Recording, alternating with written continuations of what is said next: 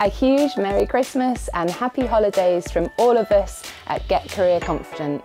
Wishing you all the best for 2020 and may all your career dreams come true. Also have a special message from our careers mascot, Mash, who is wearing a Christmas pudding today in honour of uh, the holidays. He also wishes you all a very, very happy, happy time. Bye everybody.